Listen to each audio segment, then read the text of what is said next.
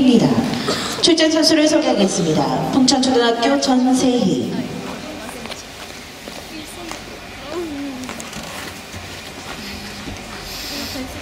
연세 화이팅!